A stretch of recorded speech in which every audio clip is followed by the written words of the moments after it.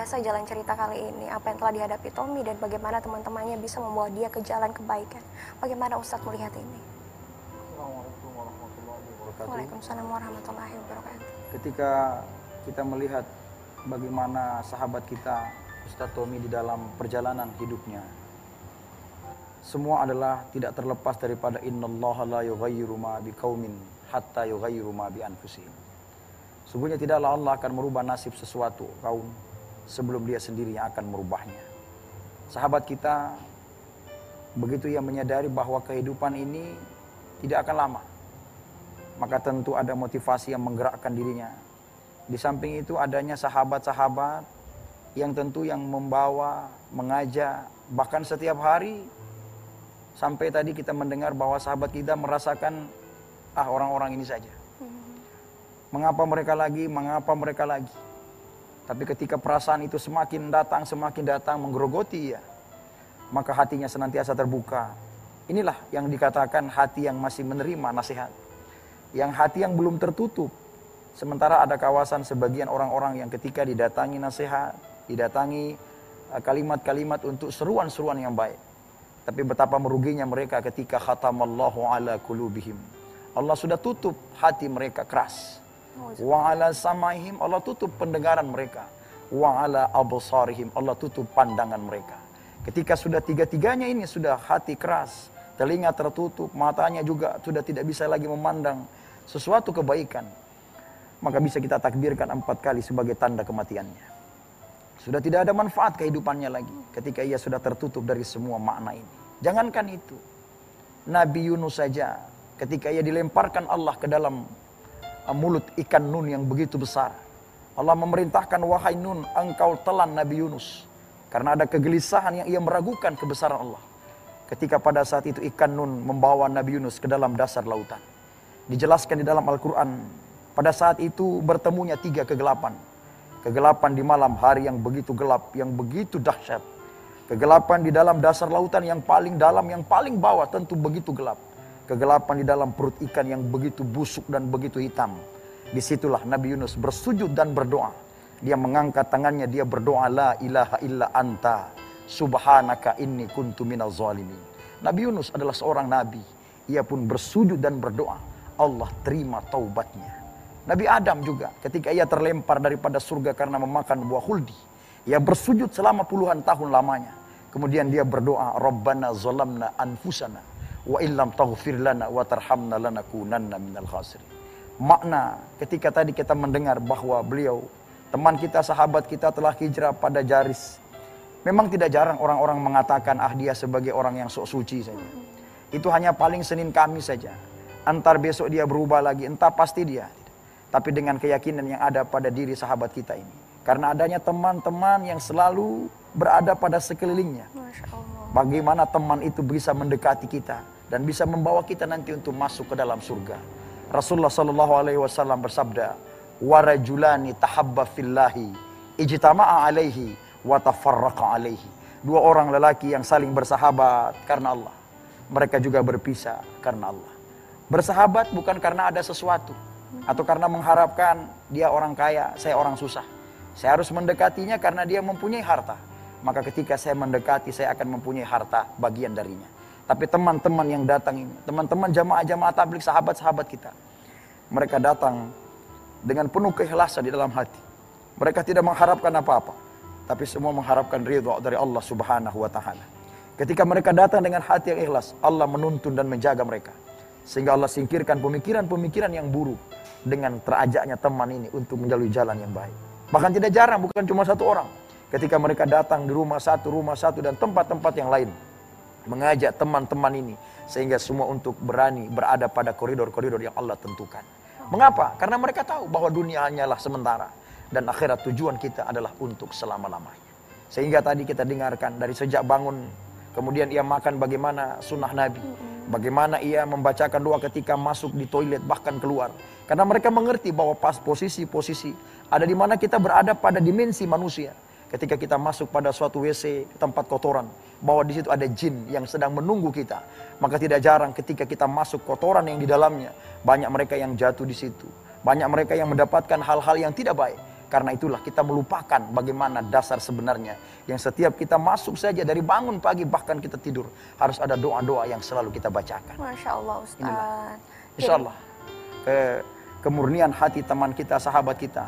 Yang memang kalau orang merasa tadi dikatakan bahkan keluarga sendiri mengatakan saya kenal dengan Ustadz Tommy. Siapa? Saya kenal dia.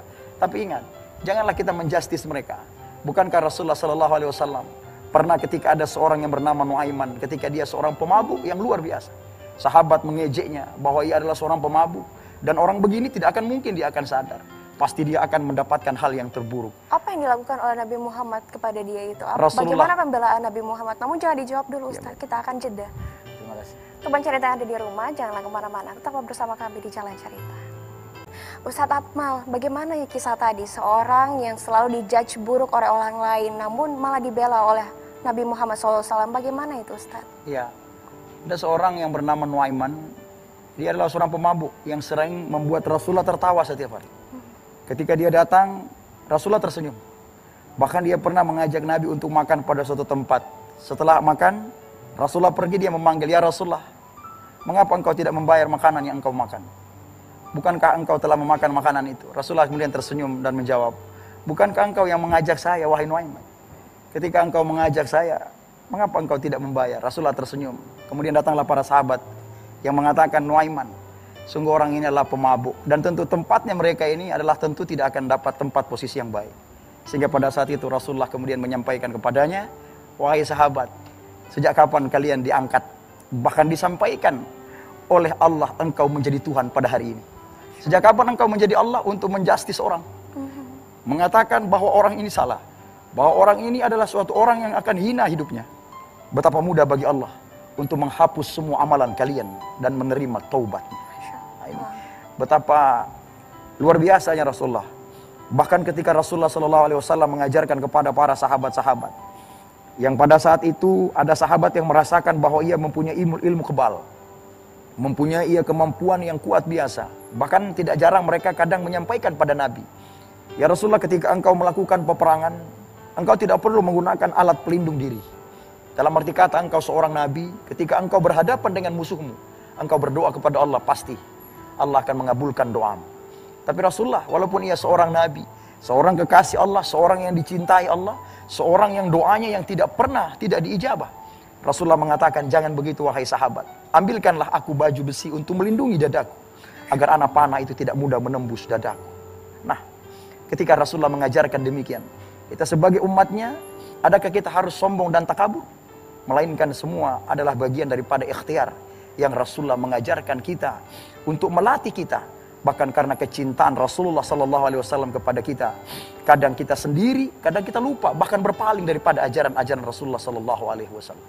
Ketika mereka-mereka teman-teman kita yang sudah ada pada garis hijrah ini, tinggal kita untuk mempermantap adalah senantiasa tawadu dan istiqomah. Karena semakin kita dekat dengan Allah, semakin keras juga gelombang-gelombang angin yang akan menghempaskan kita untuk bisa keluar dari situ. Karena iblis juga sudah berjanji. Iblis adalah seorang ahli ibadah. Iblis adalah seorang yang hebat yang dicintai Allah pertama kali. Cuma karena ada satu kesombongan yang dalam diri iblis, maka dia terlempar ke dalam neraka. Iblis adalah salah satu yang makhluk yang Allah ciptakan yang luar biasa. Ketika dia angkuh, dia merasa lebih hebat daripada malaikat dia merasa lebih angkuh daripada semuanya. Sehingga ia terlempar ke dalam jurang neraka yang paling dalam.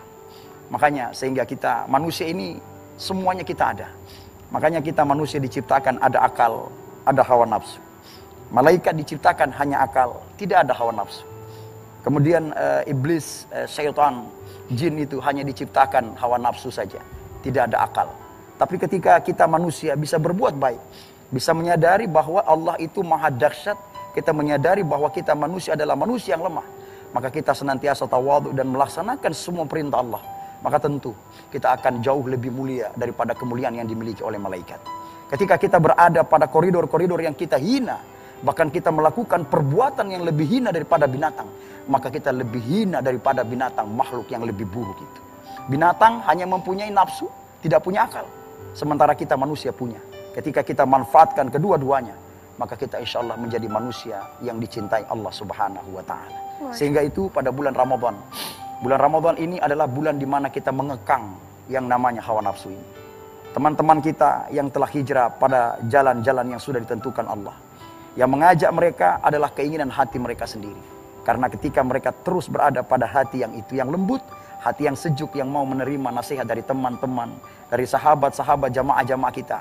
Ketika mereka duduk, bahkan mereka makan pun bersama-sama, bahkan ketika yang dimakan pun sama, ketika mereka mau minum pun sama, mereka mau berjalan pun sama, Ketika mereka perasaan hati pun mereka menangis ketika mendengar ayat-ayat Allah. Berarti itulah masuk mereka termasuk golongan yang hati mereka masih bisa menerima nasihat-nasihat yang diberikan oleh para guru. Sehingga ketika kita betapa sedihnya ketika kita melihat ada suatu fenomena, ketika ada satunya musibah yang datang pada satu tempat, kita bisa melihat satu orang saja yang berbuat dosa, satu orang yang berbuat masalah, apakah Allah mendatangkan musibah kepada dia saja? Bukan. Tapi ketika satu yang berbuat dosa pada satu tempat, satu orang yang berbuat mudarat pada satu tempat, ketika Allah mendatangkan gempa bumi dan tsunami, ketika Allah mengguncangkan buminya, maka kita yang tidak berdosa yang berada pada sekeliling itu akan merasakan dampaknya dahsyatnya musibah yang Allah berikan kepada kita. Kembali pada satu firman Allah, fabi ayyi ala ya rabbikuma tukadziban. Nikmat Tuhan yang manakah yang kalian dustakan. Masya Allah, terima kasih Ustadz Atmal atas nasihatnya hari ini dan juga saudara kita Tommy, terima kasih telah menjadi teman cerita yang sangat luar biasa datang ke storyline hari ini dan teman cerita yang di rumah, seperti apa Ustadz Abal katakan tadi, jangan lagi kita menjudge orang lain. Karena kita belum tahu apa yang akan terjadi pada kita besok dan apa yang akan terjadi padanya besok. Sungguh Allah itu maha pembolak balik hati. Bisa jadi orang yang kita cap buruk hari ini, dia akan lebih baik dari kita esok hari. Maka mari berhenti menjudge orang dan mari mengajak mereka dalam kebaikan bersama-sama. Saya ajak ada teman-teman storyline dan ada Ustadz Atmal serta Tommy pamit undur diri. Kita akan jumpa lagi di episode berikutnya. Assalamualaikum warahmatullahi wabarakatuh dan sampai jumpa.